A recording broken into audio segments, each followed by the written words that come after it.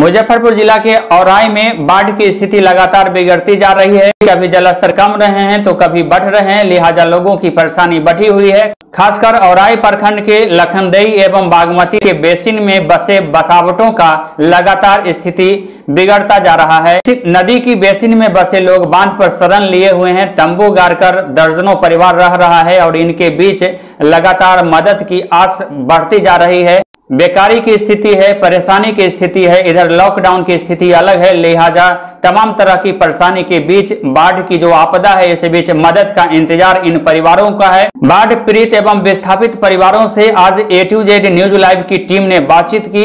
इलाके के कई चप्पे चप्पे पर हमारी कैमरे की नज़र पड़ी। हालात का जायजा लिया। नदियों की हालात को हमने देखी।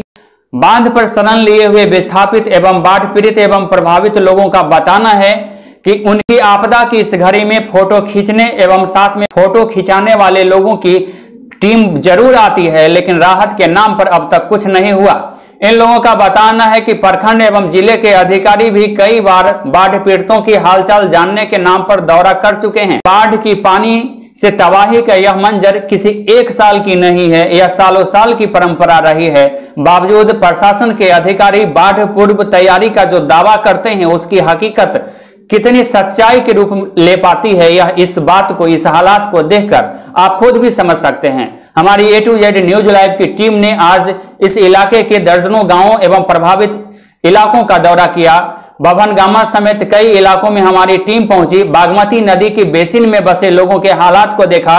नाव पर सफ़र करते लोगों से भी बातचीत की, इनकी दुख दर्दों को सुना समझा और समझने की कोशिश की। इन्होंने जो बताया, अपनी बेबसी की जो कहानी बताई, भगवान भरोसे बाढ़ पीड़ित इलाके के लोग रह रहे हैं। और इनकी बेबसी के नाम पर राजनीति करने वाले और सियासत करने वाले लोगों को इनकी जमीनी हकीकत को जानने की फुर्सत नहीं है।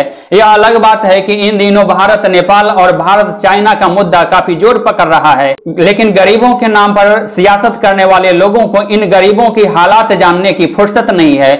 इन लोगों का दावा है कि रियल में अगर किसी गरीबों की बात को जाननी, समझनी हो तो सीधा आप लखनदई एवं बागमती नदी के बाँध पर शरण लिए हुए हम गरीबों से आकर बातचीत करिए। घोंघा, सितुआ खाकर और इनके भरोसे इनकी ज़िंदगी कैसे कटती है?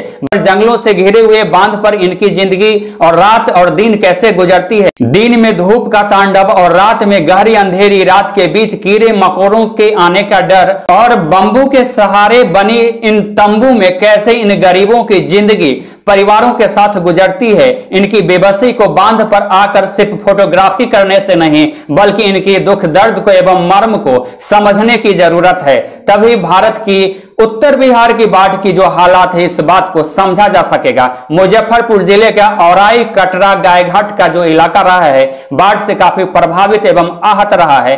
कई इलाके बाढ़ के प्रभाव में रहते हैं, कई इलाके इसके जद में रहते हैं। बावजूद लाखों लोगों की ज़िंदगी कैसे दिन रात गुजरती है, इस बात की सच्चाई को उजागर करने के लिए न विपक्ष के राजनीतिक नेताओं को फुर्सत है और न सत्ता पक्ष के लोगों को इस बात की समझने की ज़रूरत है। क्योंकि बात जब सच्चाई सामने आती है तो सिस्टम पर सवाल खड़ा होता है और सियासत की हकीकत और सियासत की राजनीति करने वाले लोगों की हकीकत सामने आ जाती है। लिहाजा गरीबों को हर बार यूज़ किया जाता है। के घर में कितना पानी है? बहुत काफ़ी ज़्यादा।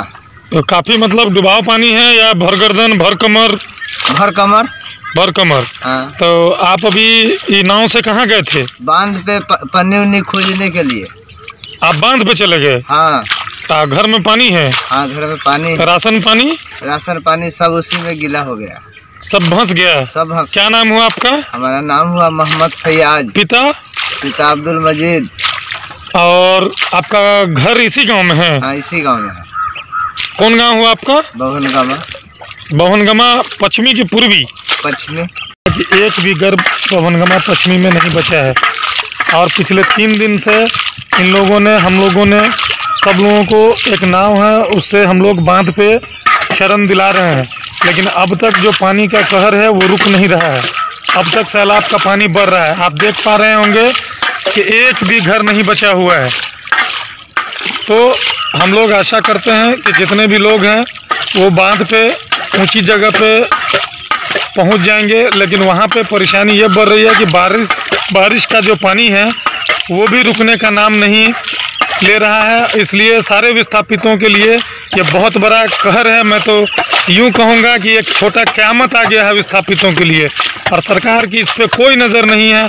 अगर विस्थापितों को ज़मीन की जगह पुनर्वास की मिल गई होती, बाँध के बाहर तो आज हज़ारों लोग घर से बेघर नहीं होते। सौ घर है, लेकिन अभी तक कोई भी घर नहीं बचा है।